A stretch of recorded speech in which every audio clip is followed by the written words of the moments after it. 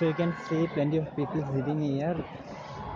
And uh, this is the launch gallery and uh, this video shows how we can reach this uh, launching gallery of uh, ISRO before a, a rocket launch.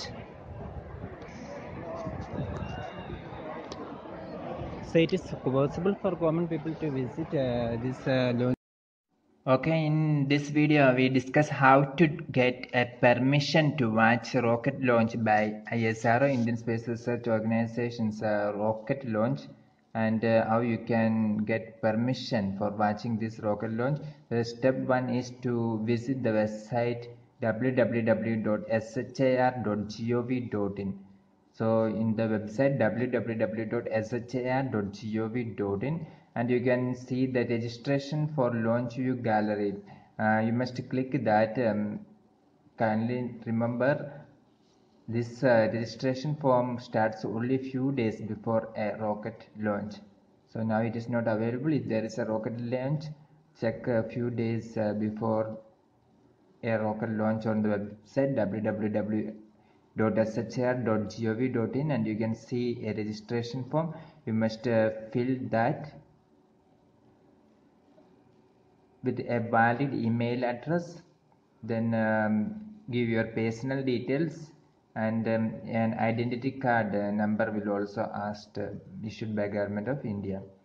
So you must uh, fill the registration form by giving a valid email address personal details and government of india's issued id card or other card or anything else. And after that you will get an entry pass with qr code to your email address.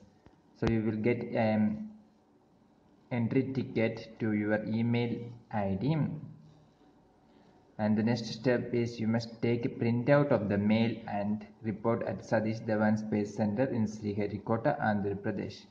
So you must come to view the rocket launch on the date when the rocket is launching. Then the next step is uh, show your pass that is the printout you taken from the email uh, to and also the identity card um,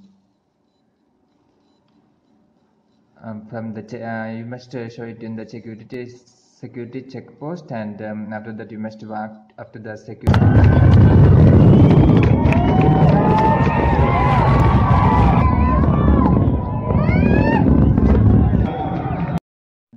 in the launch view gallery and watch the rocket launch.